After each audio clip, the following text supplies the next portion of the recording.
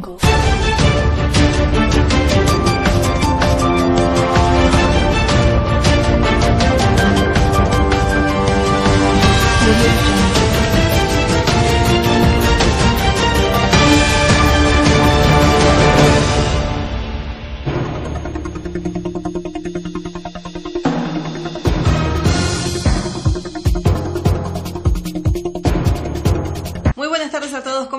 Bienvenidos a esta edición de día viernes del servicio informativo de TV Cop. Hemos tenido una semana con mucho frío aquí en nuestra localidad. A propósito, te cuento enseguida que tenemos el cielo mayormente cubierto, con una temperatura máxima de 9 grados, la mínima de 1 grado, viento de 6 kilómetros en la hora y ráfagas de 7 kilómetros del sector este. Así que una tarde fresquita, ¿no? ¿Cómo le va, Marina? ¿Cómo anda? Muy bien, muy buenas noches para la audiencia, para usted. ¿Cómo pasó ese día viernes? bien, la verdad que este el clima re lindo. Sí. Así que arrancamos la mañana con mucho frío, cerca del mediodía ya hacia Como ayer, ayer también. Ayer sí, pero hoy me parece que estaba un poquito más cálido. sí. Sí. Sí, sí, sí, Así que bueno, eh, nosotras sufrimos la mañana. La mañana.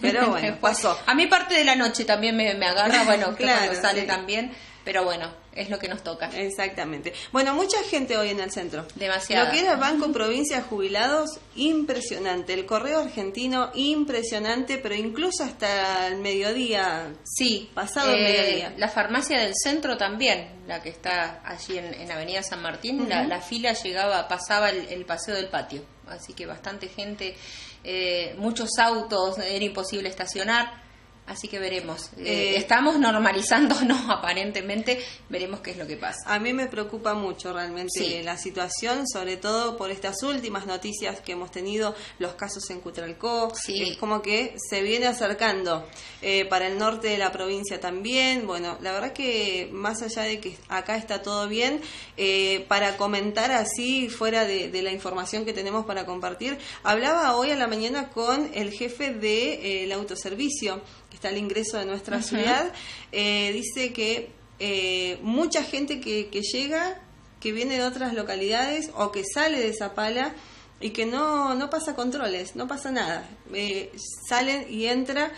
no se les toma temperatura, nada. Nada teníamos teníamos eh, la información de que sí se hacía, que se había reactivado, que habíamos empezado otra vez con los controles. No, incluso tengo contactos cercanos que han viajado hacia Neuquén, un poco más allá, sin controles, nada. No les han pedido absolutamente nada, por eso es que lo cuento porque tengo la información en primera persona, digamos, de que han ido eh, y más de una vez y no, no hay controles. Bueno, eh, primero eh, tener nosotros la precaución, nosotros tenemos que cuidarnos porque sabemos lo que lo que esto pasa, si, si qué es lo que pasa si, si, si no nos cuidamos. Y de parte de las autoridades también. Eh, Exactamente. Activar todos los protocolos para que se cumplan las órdenes que han dado, en realidad. Bien, sí, la verdad que a mí la situación me, me está preocupando bastante, eh, sobre todo por esto que mencionábamos recién, los casos como que se van acercando, se van explayando eh, también rápidamente. Neuquén, que estaba tranquilo de un día para el otro, tenían 150 sospechosos, entonces por eso es que debemos ser conscientes. Aquí no pasa nada, pero como comentamos, entra y sale gente y no sabemos qué puede pasar y hay muchos asintomáticos, así que este, tenemos que estar alertas. Eh, y hablando de pandemia, porque estamos en época de pandemia. Eh, de comité de emergencia. Bueno, hay novedades con respecto a esto, ¿no? Sí, estuvimos. Además del hospital. Sí, estuvimos hablando con el doctor Darío Piccoli, que es eh, el director del hospital, eh, contándonos de la apertura de los nuevos consultorios en el área nueva del, hospital, que es todo para casos respiratorios. para atención, para, para hospitalización en caso de que haya neumonía, se activa el protocolo, se hace el hisopado, eh, pero quedan resguardados en ese lugar.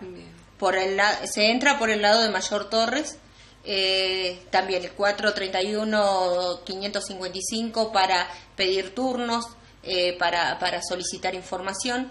Luego se entra para, para las atenciones diarias y otras patologías por Luis Monti y para las guardias, como siempre, por Almirante Brown y Monti. Exacto. Bueno, eh, Luis Monti, recordar que ya desde hace bastante tiempo que teníamos la costumbre muchas muchas veces cuando íbamos a internación entrar por la entrada de ambulancia. Exactamente. Eso está clausurado, está no cerrado, se puede. no se puede más.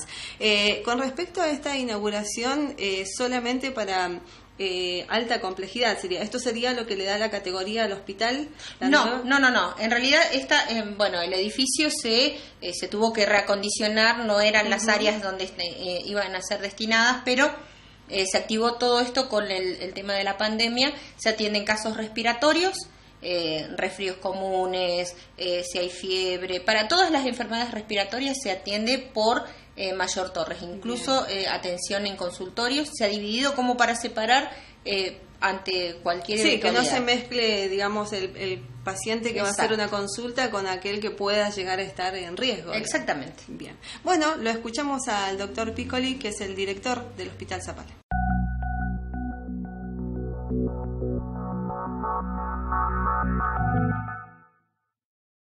Originalmente eh, estas tres plantas, digamos, planta baja, primero y segundo piso, estaban destinadas a un área administrativa, eh, un sector que es, eh, vino a complementar la parte de consultorio externo que necesitábamos, y las tres plantas de internación, digamos, de pediatría y dos pisos más de internación general, donde incluía clínica médica y este, cirugía.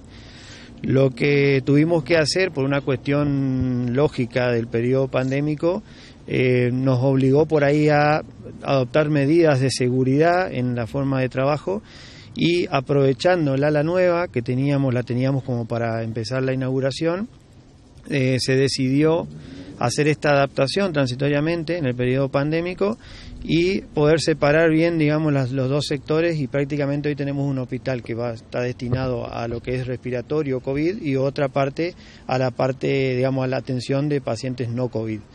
Eh, eso permitió que habilitáramos mm, por etapas distintos sectores. Ahora tenemos habilitados los tres pisos prácticamente en funcionamiento, de los cuales tenemos el sector de internación con pediatría en planta baja, eh, una internación de clínica médica en el segundo, en el primer piso que, de este, para respiratorios y en el tercer piso la terapia intensiva con, eh, para pacientes COVID.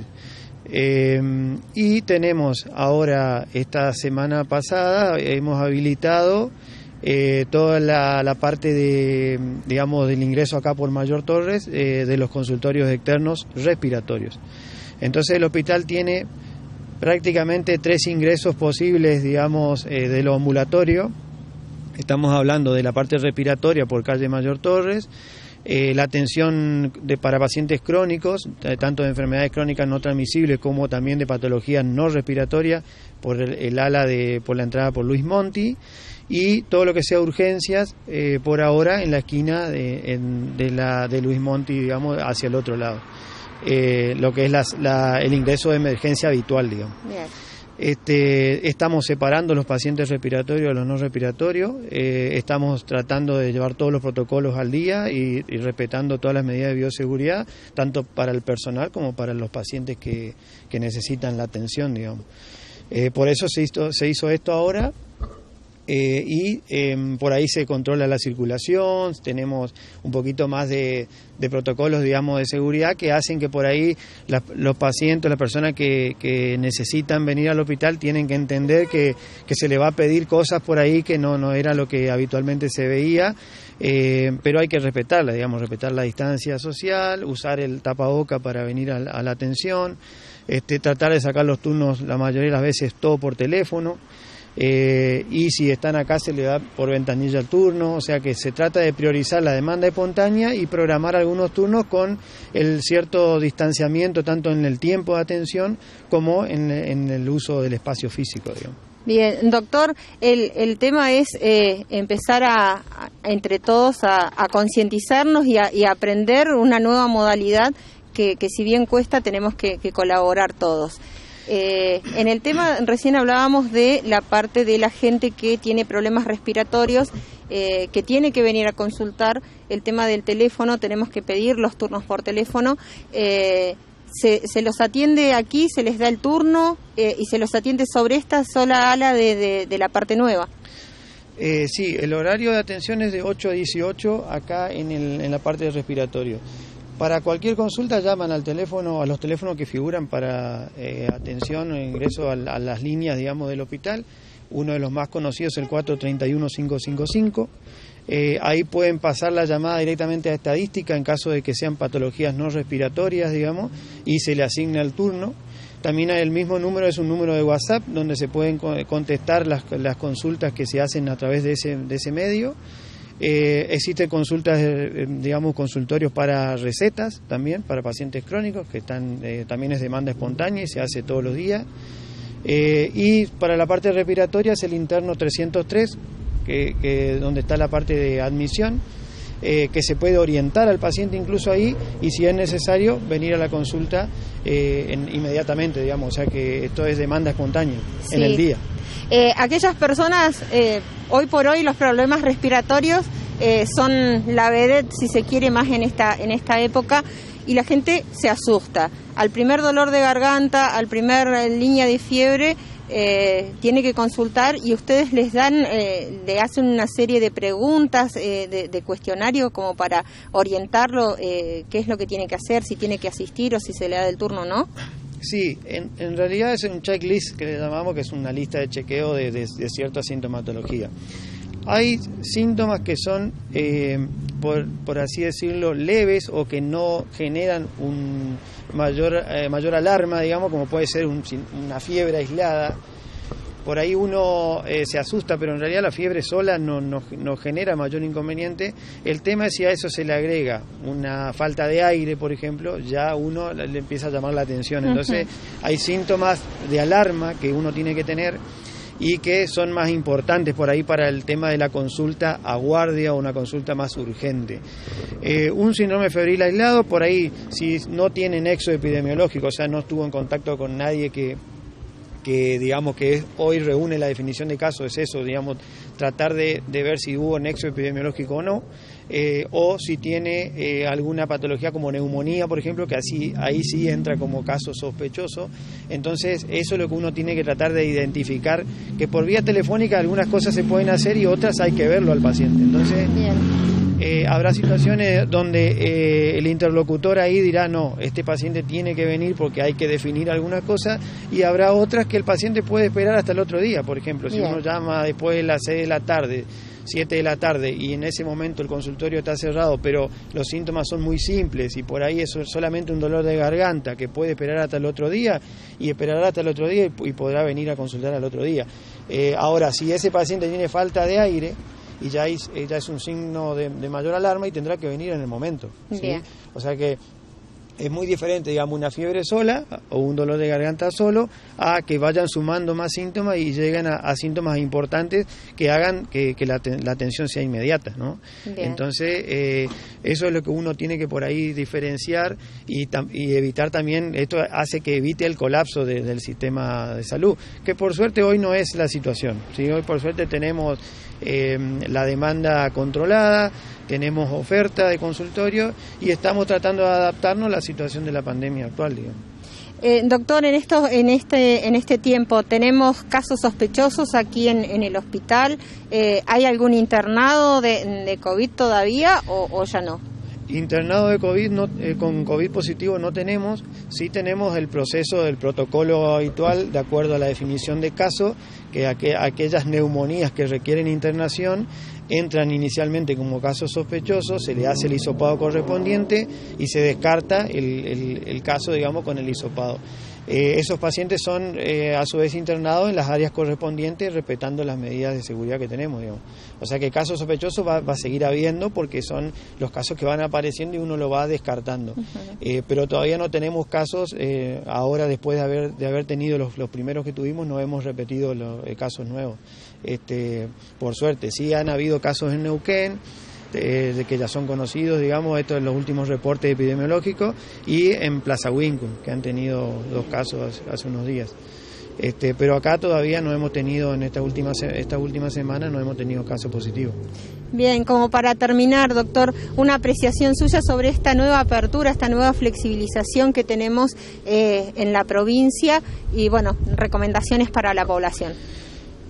Eh, mira, es, es muy es muy difícil esto de buscar siempre un equilibrio, ¿no? Siempre lo que cuesta por ahí buscar un equilibrio entre lo que es, sería lo ideal y lo que, lo que uno debe seguir permitiendo porque si no, no funcionamos como sociedad, básicamente. Entonces necesitamos eh, cierta apertura, eso está claro, porque no, no, desde el punto de vista económico es insostenible pero eh, tenemos que seguir fomentando esto de concientizar las medidas de seguridad, el tema de usar los tapabocas correspondientes, cuidarnos entre nosotros, la buena higiene de, manos, este, usar ah, todos los medios necesarios para prevenir enfermedades de, este tipo digamos, de transmisión, tanto ahora en este caso el coronavirus como las otras patologías respiratorias que están todos los años.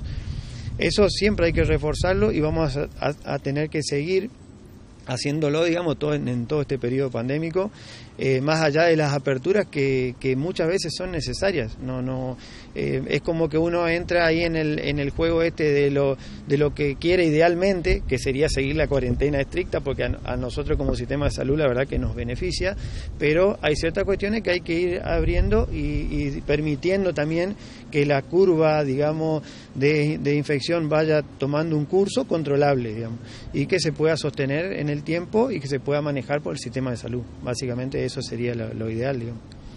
Y la recomendación, seguir cuidándonos entre todos. Cuidándonos entre todos, seguir con el tema del tapaboca, eh, usar este, en todo caso alcohol gel, si es que por ahí no puedo lavarme las manos, si puedo lavarme las manos, lo ideal sería lavarse las manos seguido.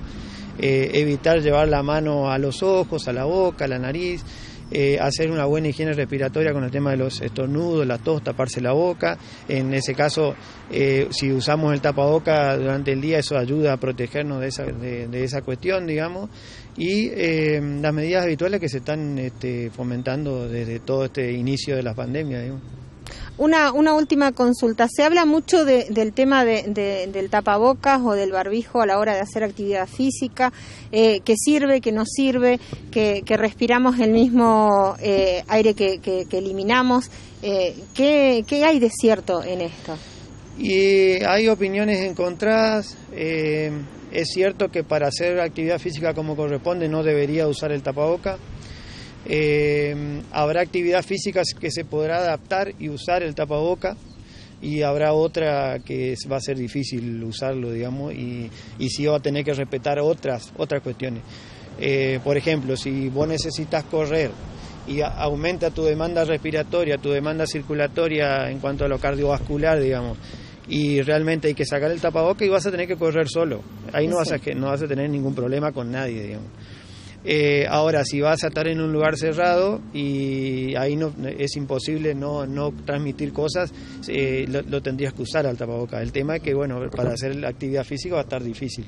Entonces va a tener que, van a tener que buscar ese equilibrio entre eh, no contagiar a los demás estando haciendo actividad física solos, digamos, y en los lugares donde hay, va a haber mayor posibilidad de aglomeración de gente, usar el tapaboca. O sea que es complejo. Si, si vamos a lo ideal, eh, lo ideal para la actividad física es que no usen el tapaboca, pero no es lo ideal para la transmisión del virus. Entonces, bueno, ahí está, ahí está buscar el equilibrio, buscar ese equilibrio entre eh, ser, usar el sentido común también, ¿no? Por ahí decir, bueno, si estoy al aire libre, estoy solo, no molesto a nadie y ahí poder hacer actividad física sin usar el, el tapaboca.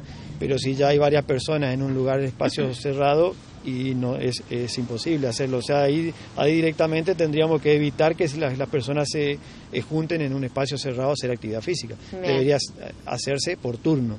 Bueno, esas son cuestiones que, que, se están trabajando en los distintos protocolos para la apertura de los gimnasios y de todos los, los centros donde se puedan hacer actividad física.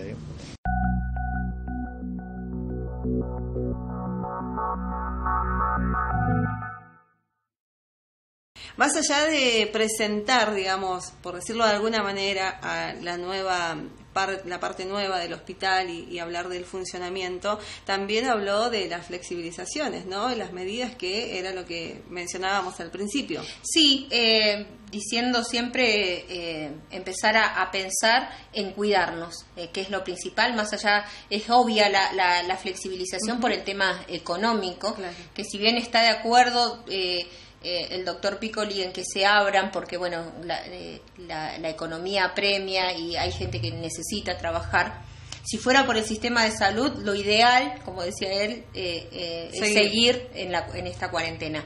Pero bueno, hay que ir flexibilizando eh, enseñando y concientizando a la gente que se tiene que cuidar. Bien, bueno, el doctor estuvo muy preocupado desde el primer momento, siempre se mostró muy preocupado por esta situación, así que esperemos que pronto esto termine y salgamos bien, eh, para contarla también de, otro lado, ¿no? Eh, empezamos con el primer caso en la provincia que llegó aquí y de pronto estamos bien, este, esperemos seguir así. Bueno, esa es la buena noticia, le, consultábamos al doctor si había algún caso internado, me dice, casos positivos internados no hay ninguno, Sí hay eh, sospechosos que vienen por neumonías, que sí se activa el protocolo, pero se le hace el hisopado, eh, se espera lo que hay que esperar y se, los manda a, la casa porque, bueno, gracias a Dios da negativo. Buenísimo. Vamos a ir a una pequeña pausa, enseguida regresamos con más información y en este caso vamos a hablar del ámbito legislativo.